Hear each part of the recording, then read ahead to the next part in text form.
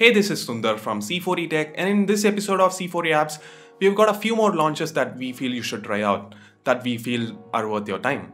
So, without any further ado, let's get started.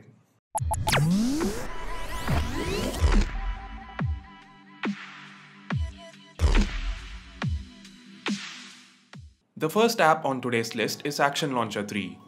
This is one of the most popular launchers out there and the new update brings with it some features from the Pixel launcher, swipe up from the dock for the app drawer, the dock tint, the folder style, the date widget and so on. Quick Cuts is also available which brings the Nougat shortcuts by swiping up from within any compatible app. The new customizations to the old feature-packed launcher makes this a must-have launcher. The free version gives you an idea of how some of these features work and if you want to, you can buy the premium version. The next app on today's list is one of the lightest launchers out there, the AP15 launcher. The launcher is simple and fast. It does not use the conventional icons to display the applications. Instead, they are displayed in text with their respective names. The most used apps are displayed with a bigger font. Scroll through the list, tap the name to open it. That's pretty much it.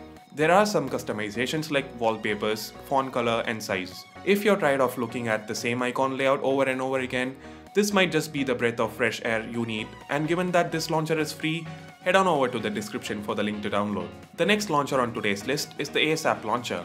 This launcher handles widgets smartly. Instead of the traditional widgets, the app has pages for contacts, weather, and so on. The bottom dock expands on swiping up, revealing the most used apps. There's also a slide-in app list similar to the one found on the Action Launcher. Additionally, a sidebar with a ton of quick toggles like Wi-Fi and flashlight is also available. The quick bar on the home screen shows you the weather and the music controls that changes color based on the artwork of the track currently being played. You can also switch to a minimal clock instead of the quick bar by swiping up. With ASAP Launcher, the more you use it, the more comfortable you get with it. In other words, there's a little bit of a learning curve, but once you get past it, this might just become your favorite launcher. It's also worth noting that there's support for themes and icon packs. Moving on, if you want a launcher which smartly manages your social media feeds, look no further than Flow Home. Flow Home gives you the latest feeds from your social media, your Twitter, Feedly, Facebook, and so on. The home page displays all the posts in a well-arranged layout. You can also change the layout from a list of presets. Flow Home lets you favorite a post, open it, retweet, or share. You can clear the post by swiping it away to the right. You can add widgets and access them by tapping the profile icon on top. To the bottom of the screen, there's a multifunctional icon. Tapping this opens the most used apps. Swiping up gives you the feed filter and holding the icon lets you search for apps. Swiping left from the home screen gets you the app drawer. Here, the multifunctional icon is replaced by the search icon. Moving on to the last launcher on today's list, here's something different, a launcher that adapts to your mood.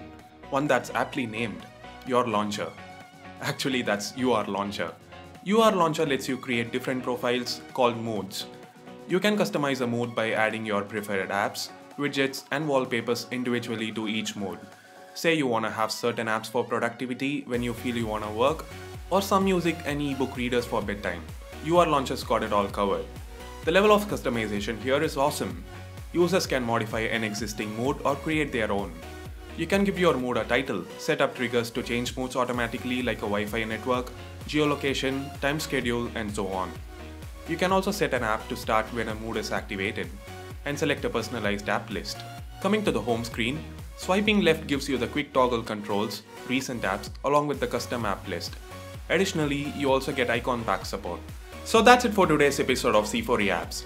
As always, you can find the timestamps and direct links to download these apps in the description below. If you liked the video, hit that thumbs up button over here and also hit that subscribe button over here if you want more videos like this. And if you want, if you have any app recommendations, do make sure you tweet it out to us at C4E Tech using the hashtag C4E Apps. So that's it. Thanks a lot for watching. This is Sundar from C4E Tech, leaving for the moment. Have a nice day.